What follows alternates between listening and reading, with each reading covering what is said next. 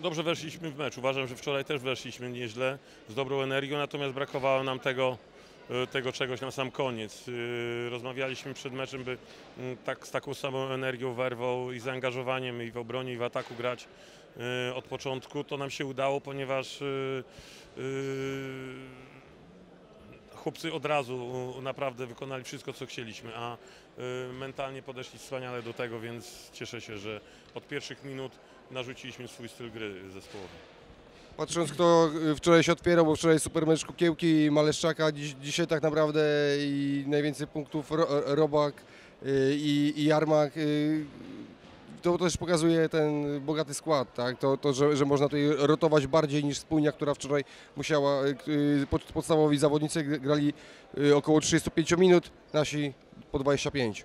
No z takim zamysłem ten zespół był budowany. Bardzo się cieszymy, że jest tak, że chłopcy y, wyszli i tak naprawdę po pierwszej połowie 6 bądź 7 ludzi miało po 7, 8, 9 punktów i y, to jest naprawdę duża wartość, ponieważ przeciwnikom trudniej jest bronić. Ja podkreślę jeszcze raz to, że chłopaki naprawdę y, zmobilizowali się, bo wczoraj mecz wcale nie był łatwy i przemyśleli sobie po- poprzedni mecz, a weszli w ten bardzo dobrze, z taką dobrą energią i fajnie widać team, widać to, że chcą, y, cieszymy się bardzo. Natomiast no, nie ma co teraz być jakąś hura optymistą, ponieważ jest jeszcze trudne mecze na yy, wspólni, mam nadzieję, że jeden, natomiast wiadomo, to jest ciężki teren, to jest dobry zespół i będziemy walczyć o to, żeby osiągnąć sukces. No, zagrali znakomicie, bo to trzeba ten, w ten sposób mówić. No, to nie wolno deprecjonować jakby zasług zespołu, który dzisiaj wygrał.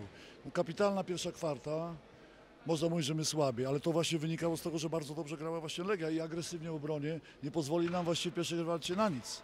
I ta pierwsza kwarta jakby ustawiała całe spotkanie, bo potem, potem te pozostałe kwarty były wyrównane, no ale, ale ta różnica z pierwszej kwarty no, spowodowała, że no, dzisiaj nie byliśmy w stanie z tak dobrym zespołem, tak dobrze usposobionym bić się o zwycięstwo. Tego się obawiałem, że po tak twardym meczu wczorajszym, gdzie w końcówce na 3-4 punkty zeszliśmy i to 10 punktów to dosłownie w minutę poszło w samej końcówce, e, to dzisiaj zabrakło po prostu atutu właśnie szerokiego składu.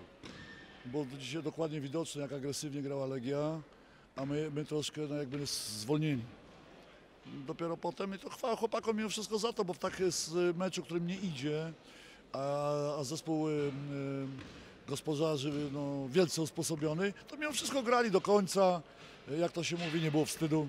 w rywalizacji z Legion y, ta, spra- ta sprawa też jest otwarta, bo jeszcze wszystko jest możliwe. Na, na pewno spójnia się nie położy. Chyba trener jest o tym przekonany, tak, że to, że to spotkanie za tydzień będzie zwycięskie dla waszej drużyny. Na pewno Legia jest zdecydowanym faworytem no, pod każdym względem. E, już nie mówię o szerokości składu, e, a to przede wszystkim wiadomo, że to decyduje. Natomiast e, e, mój zespół jest zespołem z charakterem. Na pewno w Stargardzie postaramy się sprawić miłą niespodziankę. Dru, drugi mecz z rzędu i wysoka skuteczność przed własną publicznością. Wczoraj 50%, 51 właściwie, dzisiaj 56. Chyba tak, tak skutecznie grającą Legię trudno będzie komukolwiek zatrzymać. No, dzisiejszy mecz był ewidentnie o, o wiele lepszy niż poprzedni, yy, bo zaczęliśmy od początku agresywnie, mocno zespołowo i skutecznie. Yy, Co pokazało już chyba w pierwszej kwarcie, było tam 30 do, do 5, coś takiego.